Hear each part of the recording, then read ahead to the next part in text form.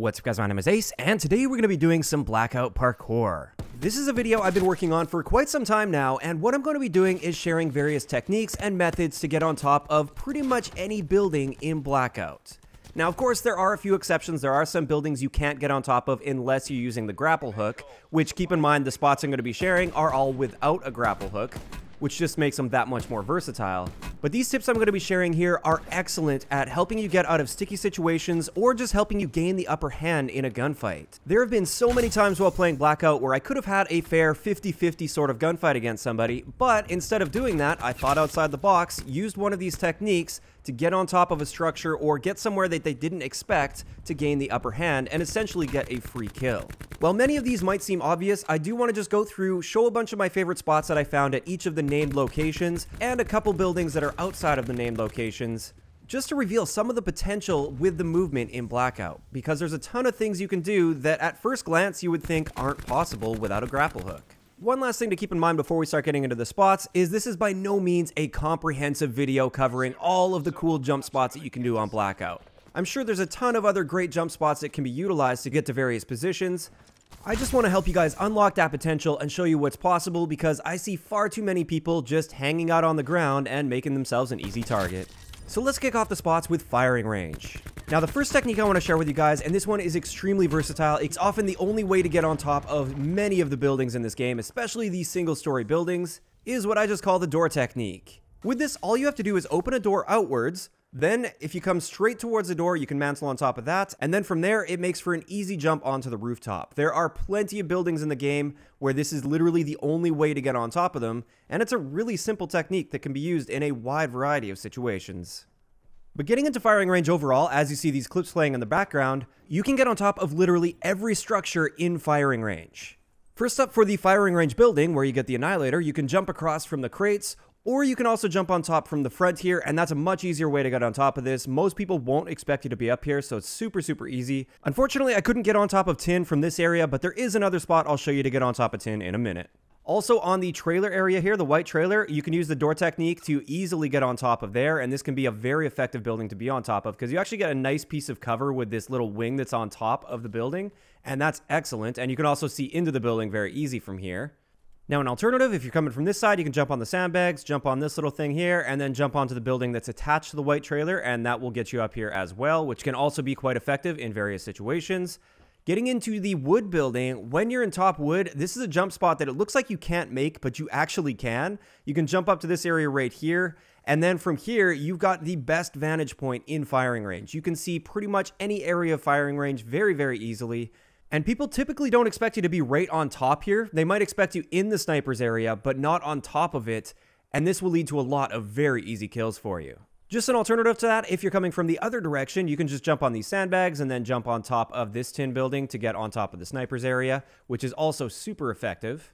And from up top here, this is the only way that I was able to find to get on top of top tin without using a grapple hook. And you can see it's a pretty easy jump to make. And this is another area where people will pretty much never expect you to be. With the red building over here, you can also use the door technique once again to get on top of this building that you otherwise may have thought that it was impossible to get on top of without a grapple.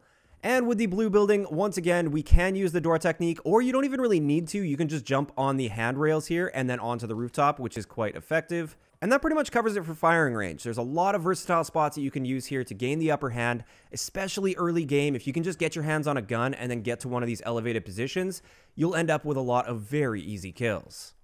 Getting into the farm area, this barn here is an area where oftentimes you get teams just locking it down and the only ways in are through the doorways down low, or at least that's what most people think. Something you can do is you can actually climb the ladder up onto this silo, and from this silo, once you mantle over this railing, you're able to make the jump to the rooftop here. And from the rooftop, you can use that for great cover into other areas where the farm is, or if you'd like, you can come over to the window here and take out the people that are often camping on the second floor area of this barn.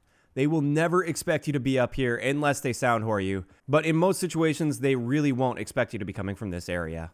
Moving on to array, I've got a couple great jump spots here. The first one is to jump on top of this truck. You can actually jump into this window. Even though it looks like you can't make it, and even mid-jump, it looks like you're not going to make it, you will actually catch the mantle here and make it through that window, which can be great if there's somebody camping up top, or if they're down low, they just wouldn't expect you to be coming from the top floor at that point. You can also use the door technique over in this area right here to get into the second floor window right there, just a little alternative. And also with these two buildings here, it looks like you can't quite make it. I've tried several different jumps and I couldn't make it, but once again, that door technique really comes in handy and it makes it really easy to get on top of these buildings. Now these small buildings here are pretty straightforward to get on top of. If you just jump on top of the window area and then jump on the roof, you can easily get on top of those. And this brings us to another technique that you can use to get on top of buildings that you otherwise wouldn't be able to get on top of, and this is simply use a vehicle, drive up to that building, and then jump on the vehicle to jump up on the roof. This is an excellent way to get on top of several different building types that you otherwise wouldn't be able to get on if you happen to have a vehicle available. Now the last thing I have to show you guys on Array is a way to get on top of the middle Array building without using the ladder. You can simply jump up on this tank right here, jump to the rooftop, and there you go. You got yourself up here without using the one obvious spot. This brings us to Nuketown, and with Nuketown, you can get on top of pretty much every single house on here. I think there's one house that you're unable to get on top of, and I just wanted to point out how easy it is to get on top of these houses because I almost never see people utilizing this within Nuketown. And for most of these, all it takes is just a little bit of creativity and thought, and you can easily get on the rooftops, and from there, it's much easier to win your gunfights. Like I said, there was one single building in Nuketown that I was unable to find a method to get on top of without a grapple hook, and that's this building right here. It's possible that you can use the door technique above the garage to get in, but I couldn't quite hit that jump, so it seems like it may not be possible, or at the very least, it's extremely difficult to do.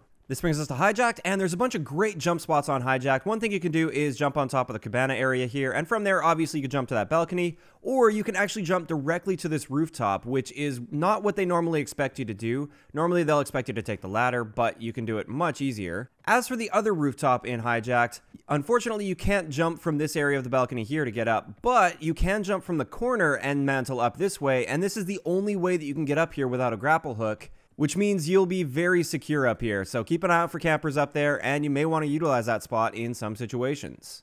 Now, the last thing I want to point out with Hijacked is instead of staying down low if you're coming into these areas here, you can simply jump up onto this higher area, and this isn't where people will expect you to be, and this allows you to get the jump on them very, very easily. Moving on to construction, this is an area where honestly I don't have too many really unique spots, but one little technique I wanted to share with you guys that has saved my life a lot of times in construction is the ability to drop down to various floors without falling all the way down the elevator shaft and without having to take the stairs. The trick with this is to simply sprint off the edge at the right angle rather than trying to jump off the edge. If you jump, you typically miss and you fall down the elevator shaft, but if you practice this enough, you'll be able to sprint off the edge and catch that floor properly every single time without any stress. One other thing I wanted to point out is if you're on this area here by the parking garage, there's a nice way to drop down to the other floor. If there's people camping back there, for instance, you can just drop down from over here and you might take them off guard. Moving on to Raid, I wanted to point out with Raid, you can get on top of these buildings from so many different angles and directions. It is extremely easy to get on top of pretty much anything on here, and make sure you're utilizing that against your enemies, because a lot of people still play this as though it's Black Ops 2, and they don't realize you can get on any one of the rooftops quite easily. As for Stronghold, I've got a couple great jump spots for you guys here. To get onto the rooftop of Stronghold, the only obvious way to get up there is to take the stairs. There's really only that one entrance. However, there is this one jump spot that will also get you up on that rooftop, and it's really great for taking out those campers. As for getting to the highest point on Stronghold, that second rooftop, there is one way to get up there, and that is to jump up on this wall right here, and then jump up onto the rooftop. Now, the next thing I wanted to show you is not in a named location, but it's this style of house with these shutters that stick out, to get on top of them, you can't quite make the jump just straight on, but you can often use these window shutters in order to mantle up onto the rooftop very, very easily. Also, from the two-story building next to it, you can jump up on the blue car, which will get you to the second floor area here, and then from there, you can simply jump up to the rooftop. Getting into the train station, I just wanted to show you that there are several ways to get onto the rooftop of the main train station building here. It's very, very easy, and you can often take people off guard. The next spot is a lot less obvious, and this is another way to get on top of the warehouse without using the ladder or that little mantle area right there, which is exactly where they expect you to come up. Now, initially, I was trying really hard to try and catch some sort of an invisible ledge or something here in order to get up on top of the rooftop, but unfortunately, that just wasn't working. However, the next thing I tried was jumping onto this thing on the corner of the building. From here, you can jump and mantle on top, and there you go. That'll get you on the warehouse from a different direction that they don't normally expect. Getting into Asylum, a lot of people haven't realized yet that there is a way to get on top of Asylum without using a grapple hook, and that is this method right here. If you go up to the stairs, you're able to just jump up to this area here, and then you can kind of parkour your way around if you want to get up on top of the rest of the building where the teddy bear is, as well as Ruin's punching mitts, which will be right up in this spot right here. Moving on to Turbine, if you want to get up to the catwalk area, if you're in the Blade Factory, it's quite easy. You can just jump up and use this as a ladder to get you up to this area. And from here, you can simply jump and catch a mantle to get on the catwalk. Now, I did try for quite some time to use this spot to get onto the rooftop of this building, but unfortunately, it doesn't appear to be possible without a grapple hook. As for the other building in Turbine, it's the same sort of idea as the Blade Factory. However, in order to get to a spot where you can jump up on the catwalk, you do have to go prone and crawl underneath this area, then you can jump up from there. As for Building 3, which is that warehouse that's on its own, this one has a ladder up to the catwalk, and it seems like a lot of people didn't know that was there, and also the people that did know that was there don't seem to realize that you can easily jump to the rooftop from there, which is extremely powerful if you have a longer range gun and you want to lock down buildings 1 and 2. Moving on to the zombies gym, over here it looks like it's impossible to get to the rooftop without a grapple hook. However, it can be done. If you just mantle out this window and edge your way over, you can simply jump and catch that mantle on the roof, and there you go, you got yourself up top. This brings us over to Factory, and with Factory, it's pretty easy to get on the standard rooftop. There's plenty of ways to do that, but getting onto the highest point of factory on the main building is quite difficult, and this took me quite some time to find out that this was possible. You can jump up on these units here, and from there, as long as you jump as close to the right side as possible, you can make this jump and get up top here. As for the other building, I just wanted to point out you can get to the rooftop without using the obvious ladder spots if you use the door technique. All you have to do is jump on top of the door here, and there you go. That'll get you up to this rooftop. As for this one brick building outside of factory, I just thought it was really interesting to point out that you can make this mantle. It looks like that should be completely impossible because it's so high up, but you can do it. Moving on to cargo, the first thing to point out that is probably obvious to most of you is you can really easily mantle on any one of these crates. I see a lot of people, they only seem to want to mantle to the first level, but you can get right up top quite easily, and I often use this to my advantage to take out my enemies. As for the four legs of this structure here, you can actually mantle up and run all the way up to the top of them, and people won't often expect you up here, although you are fairly exposed, and you can't get right up top unless you have a grapple hook. Now getting into this middle building right here, it's quite easy to get on top of that. From here, you can just jump on the railing and then jump to the rooftop, which is quite effective. I also wanted to point out you can use these benches here to quite easily jump into that second floor window, which doesn't look like you can do, but you absolutely can, which is great for taking those people out that will be camping up there watching the stairs. Obviously, you can do it from here as well, or if you come to the front, you can use the door technique in order to get into the front window up here. Moving over to the blue top building, this one's quite easy. You can use the door technique to get up there quite easily, or you can just use this garbage can right here. You can jump on that and then jump onto the rooftop. Also, from the other side, you can simply use the railing in order to get on the roof. It's quite easy to get onto the rooftop of this building, but I rarely see anybody up here. So finally, getting into Rivertown, I've got a great jump spot in order to get to the top of Grandma's house, or at least that's what I like to call it. This is Grandma's house in Rivertown. You can simply jump across like that and then jump onto the rooftop. Also from the front, a lot of people don't know how easy it is to just jump on top of the roof directly. Instead of going through the house and going up the stairs, you can really easily just get onto the second floor or right up to the rooftop if you wanted to. As for the Fringe Barn, this is another area where I rarely see people jumping up top, and it offers you a great vantage point over Rivertown, and there's a couple different ways up. There's one way from the back there, and then there's also this way right here, which might not be obvious at first sight, but it is really effective to get up here because you can also look through these skylights on the roof, and you can drop through if you wanted to, or from there you can also jump up to the rooftop.